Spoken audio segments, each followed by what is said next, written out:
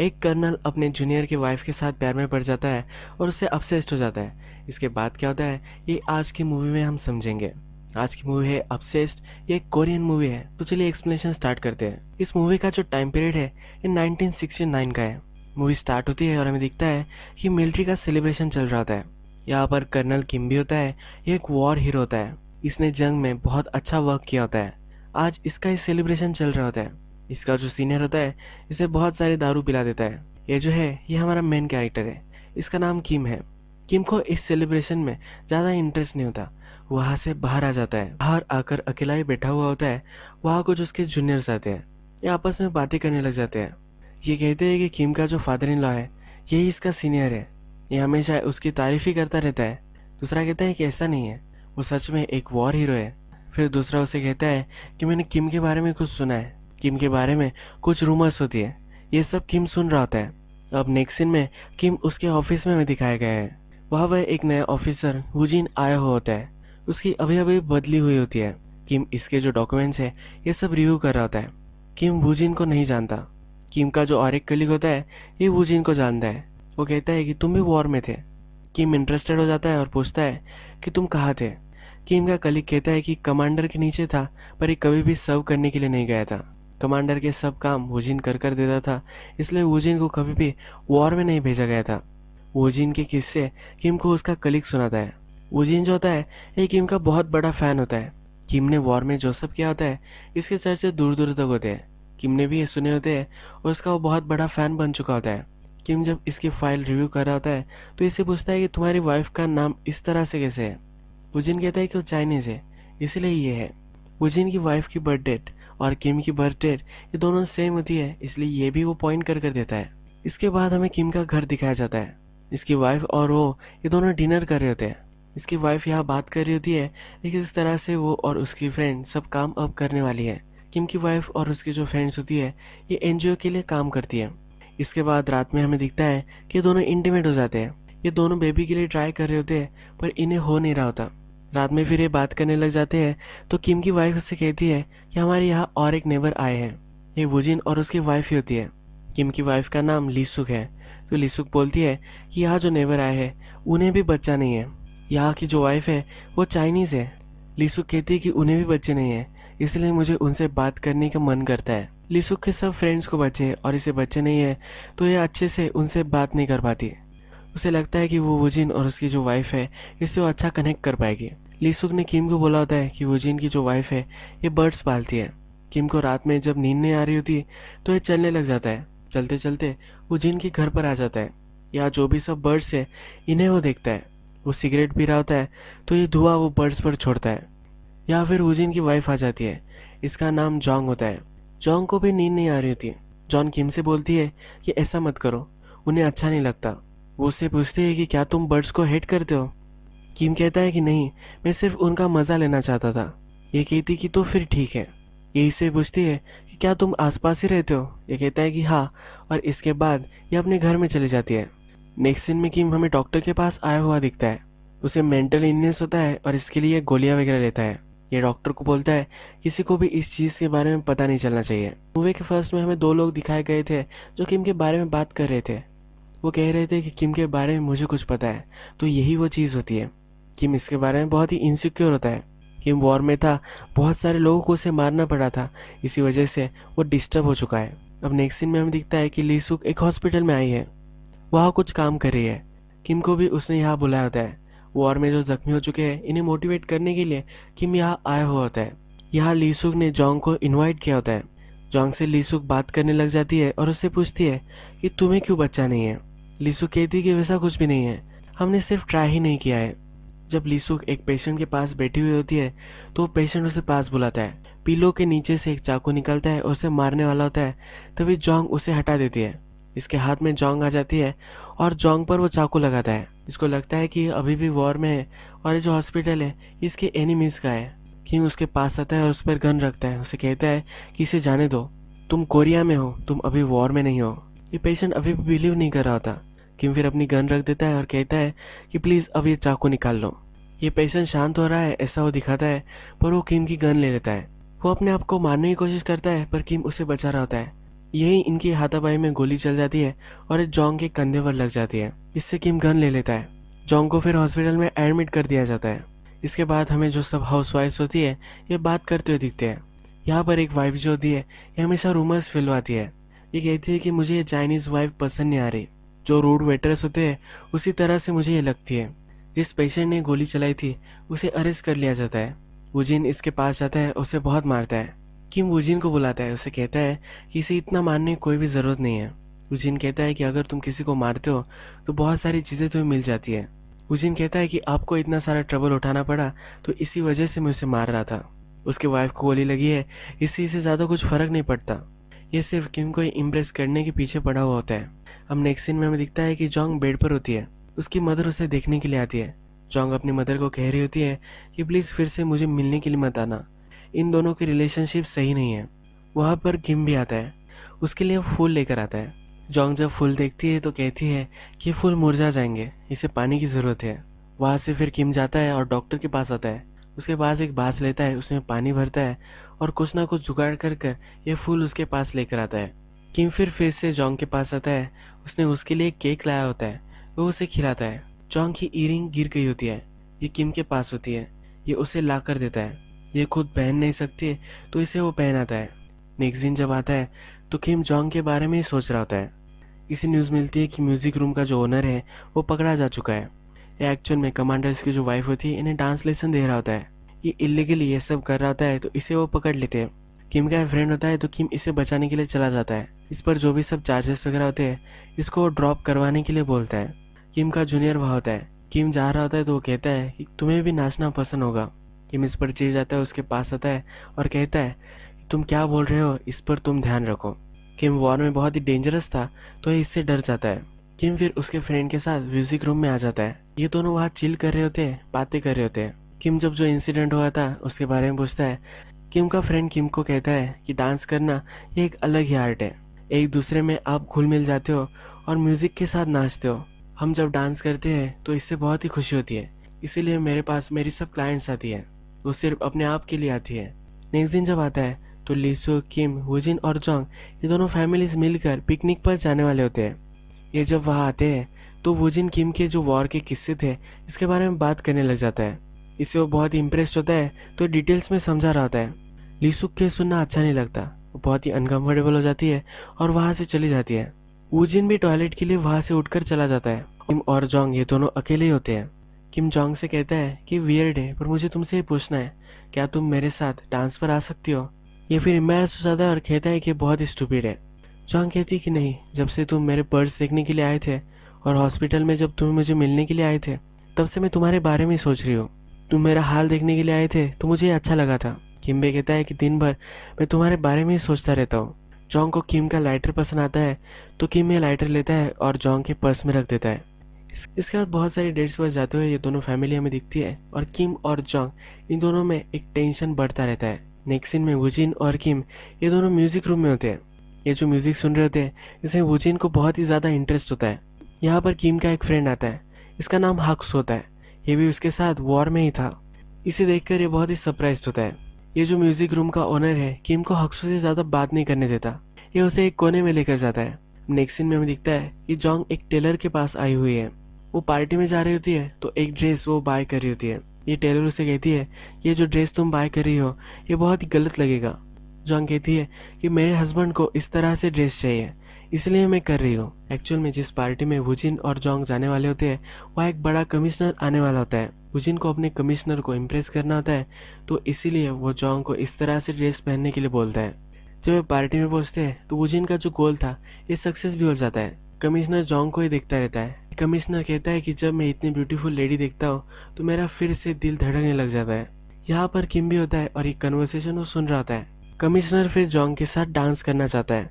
वो किम को गाना लगाने के लिए बोलता है। किम को बहुत ही जेलस महसूस होता है। वहाँ पर तमाशा खड़ा करना चाहता है, वो प्रिटेंड करता है कि वो बहुत ही ड्रंक है, पर कमिश्नर मानता नहीं। ये वो किम की चाल सक्सेस नहीं होने देता। जब कमिश्नर और जोंग इन दोनों का डांस खत्म हो जाता है तो जोंग किम के पीछे पीछे बाथरूम में आ जाती है। जोंग कहती है कि मैं तुम्हें ढूंढ रही थी। जोंग उससे कहती है कि अभी अभी जो तुमने किया है, क्या वो तुमने पर्पज से किया है? जोंग उसके पास आती है और दोनों एक दूसरे को किस कर लेते हैं। अब फिर से हाउस वाइफ सिखाई गई है। ये जोंग के बारे में गॉसिप कर रही होती है। जोंग की ड्रेस के बारे में बातचीत करती है, वो कितनी घटिया है, ये वो बातें करती है।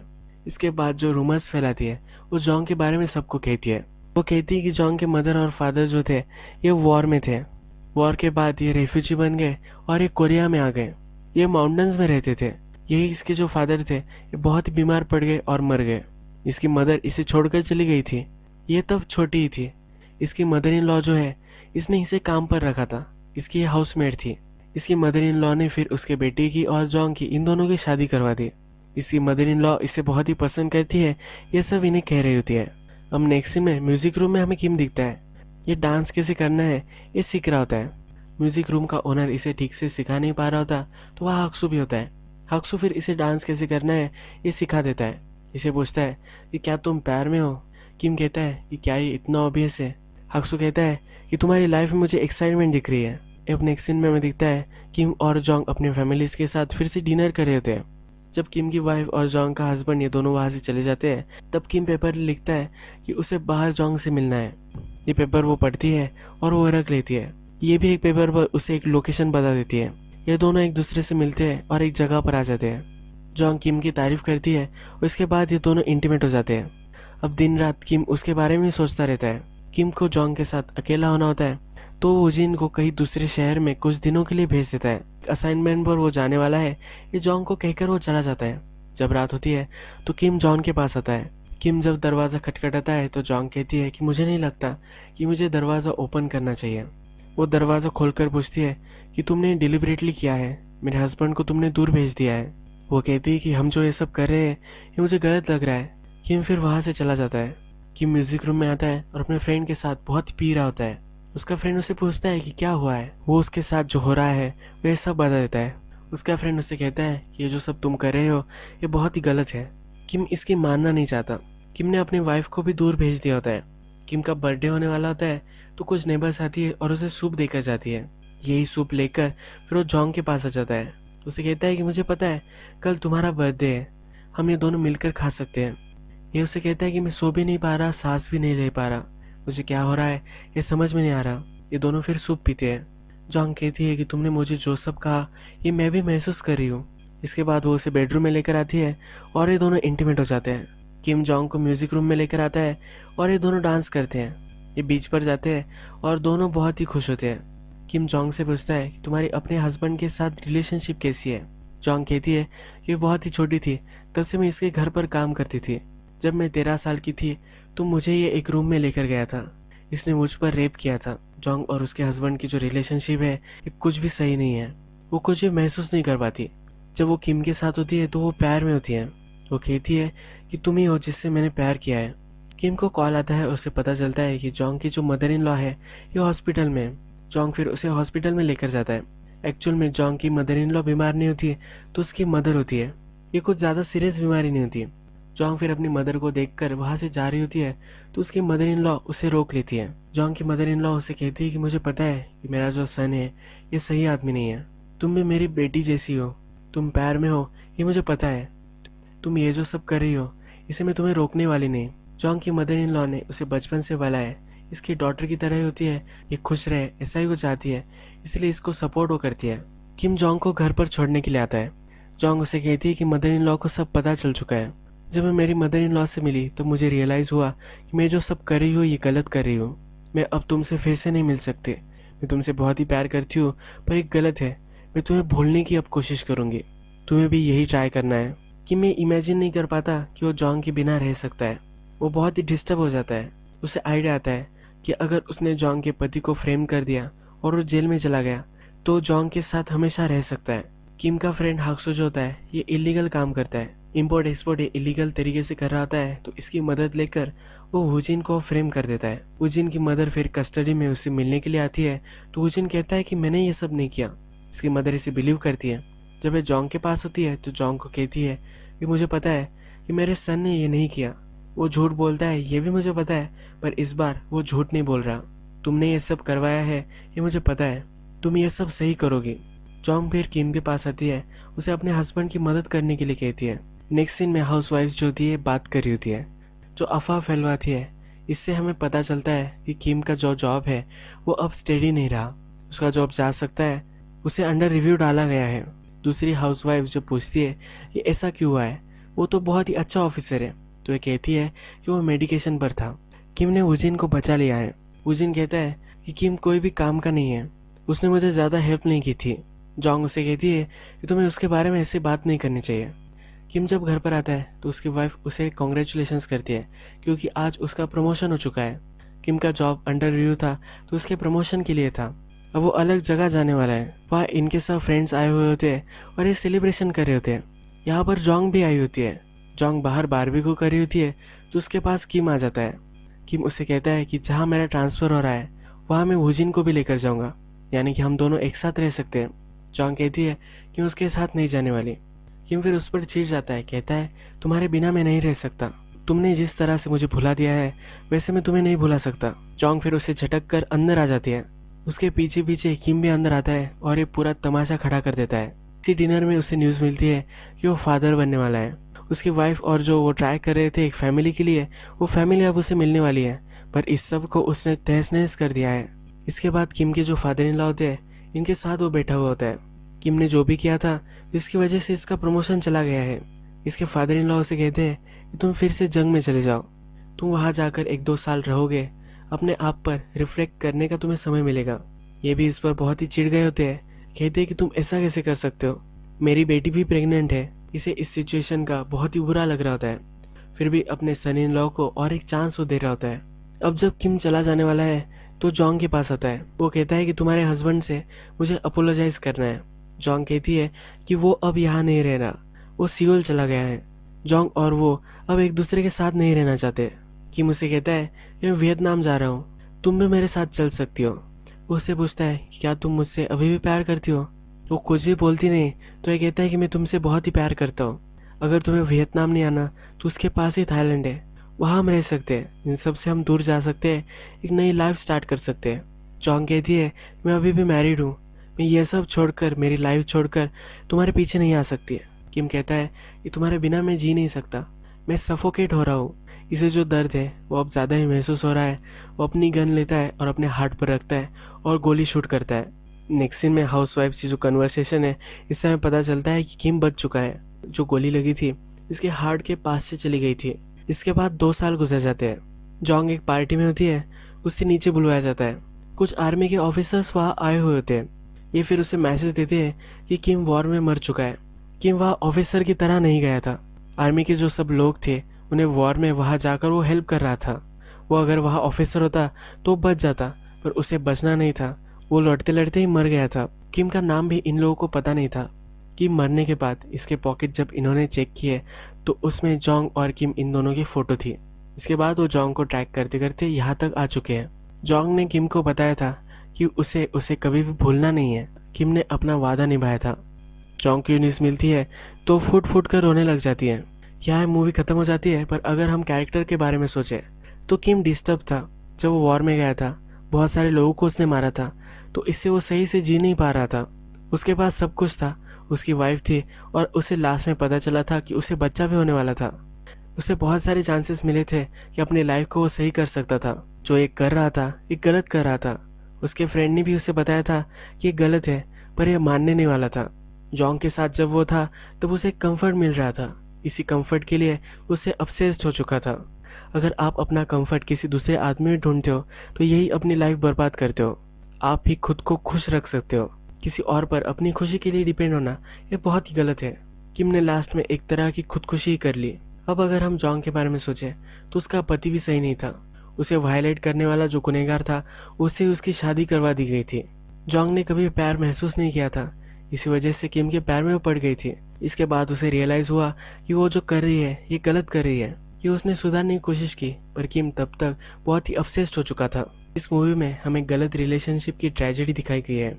यही हम आज का वीडियो खत्म करते हैं। अगर आपको ये वीडियो अच्छा लगा होगा तो प्लीज़ इस वीडियो को लाइक कर दीजिएगा। मैं बहुत सारी ऐसी मूवीज़ लेकर आता रहता हूँ तो प्लीज़ इस चैनल को सब्सक्राइब कर दीजिए। बिल नोटिफिकेशन आइकॉन भी दबाना मत भूलिए, यानी आपको सब मूवीज़ मिलती रहे।